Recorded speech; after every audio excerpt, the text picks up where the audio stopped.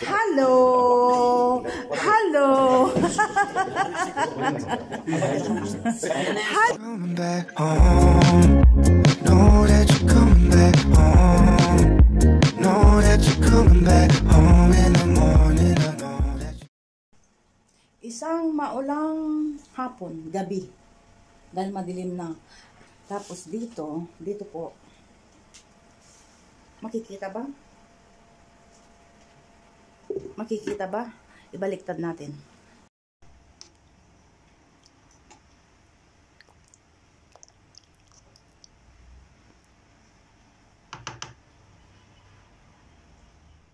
So yun nga guys, nagluto po tayo ng arroz caldo na may spinach. Last time na ipakita ko na sa inyo. Maraming naglaway.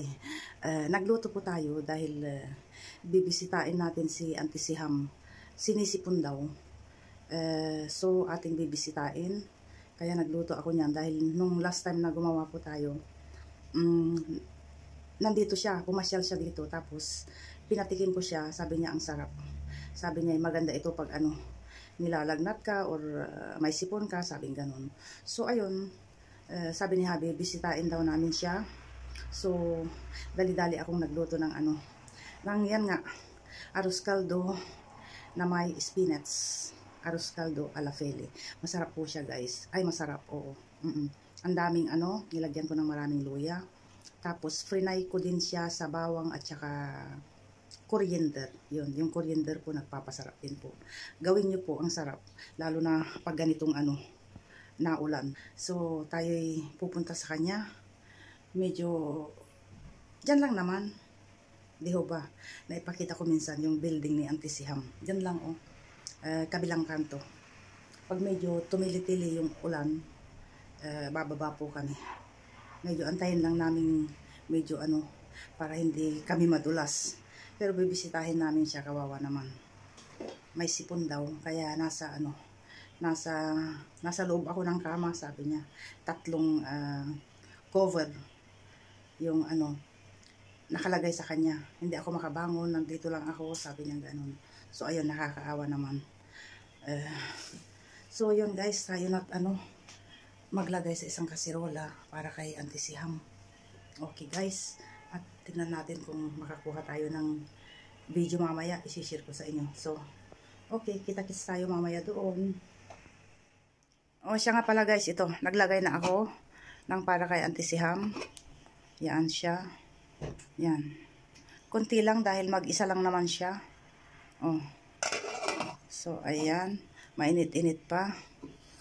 Uh, pero parang ano eh. Parang lumakas yata yung ulan oh.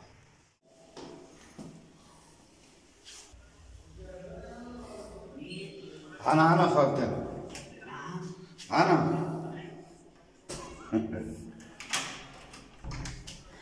Hello! Hello! Hello! ah, okay. Nandito na kami. Nandito na kami. Nakapijama pa ako. Yun, oh, may butas pa yung pijama ko. Ayun. Oh, tapos nakaganyan pa ako. Pero itong isang kamay ko wala. Sa pagmamadali ko, pagmamadali ko guys, yan lang, isang ganyan lang. Oh, 'di ba bongga? Oh, nandito na kami sa bahay ni Auntie Siham. Ibaliktad ko itong ano, camera. So, ayan guys, kapapasok namin. Balot na balot kami. Yan. O, oh, yun. Isa lang yung gloves ko. Sa pagmamadali, hindi ko nahanap guys. So, ayan. Sapat mo nung yan. Okay. Masanta masyarakat. Masanta masyarakat. Masanta masyarakat. Masanta masyarakat. Masanta masyarakat. Masanta masyarakat uh, gumagawa ng kape si Auntie Siam. Mm. Nice kape. Tapos, itong nasa tabi ko naman, Wala. yung tatay namin. Kachismisan na naman niya yung kapatid niya.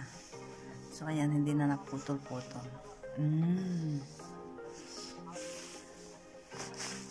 Sa bahay, ang lamig sa bahay kumpara dito guys. Pagpasok namin kanina.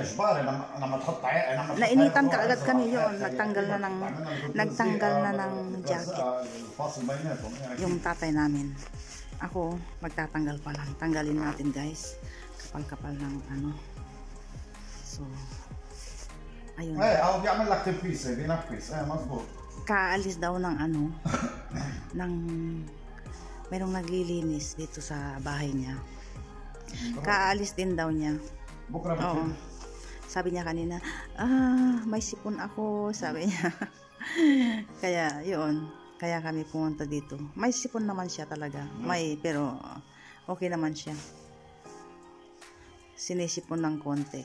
Mm-hmm. Oh, ayun. There is, uh, Masarap, bravo. Ayan, ginawan na niya kami ng kape. Nagka, هذا الموضوع بس عم بطمن عليك جدا nagkakape na kami. Ayun.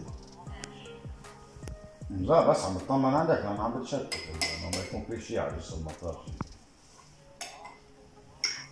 لا، Kape po tayo. المي المي خير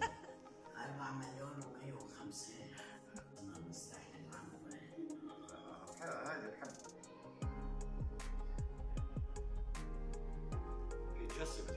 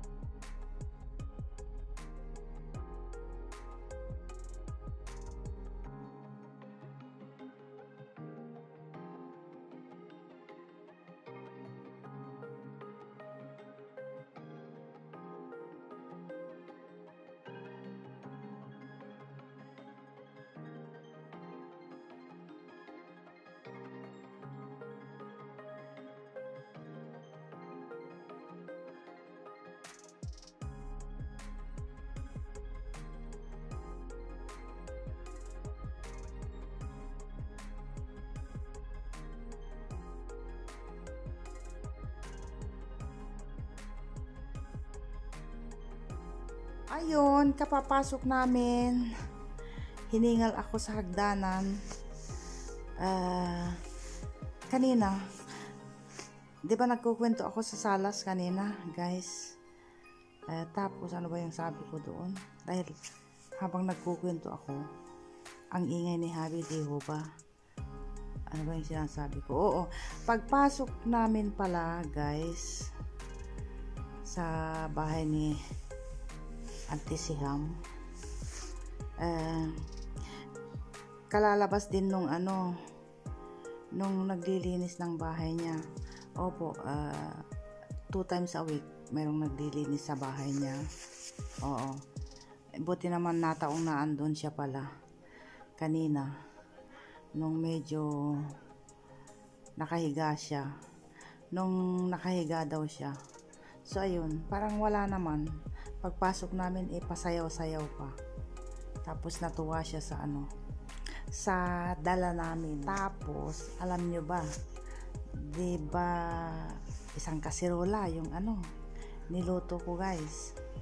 Tapos yung konti dila, dinala nga namin kay Auntie Siham pagpasok ko pagpasok ko guys dumiretso ako sa kusina. Tapos tiningnan ko yung kasirola ubos ubos guys.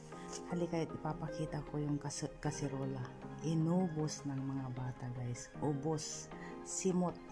Hanggang taas kanyo hanggang taas yung ano kasirola pero tingnan natin ngayon kung ah, ah, hanggang saan yung kasirola ganyan na lang.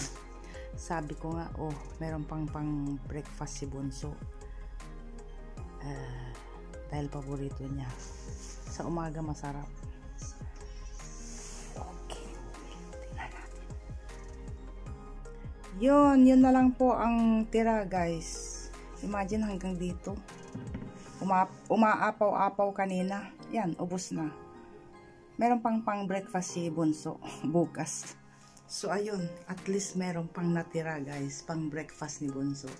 So, yun ang ganap guys. Salamat sa pagsama niyo sa amin sa pangangapit bahay. So hanggang sa muli, kita-kits tayo ulit sa susunod na ganap. Coming back home.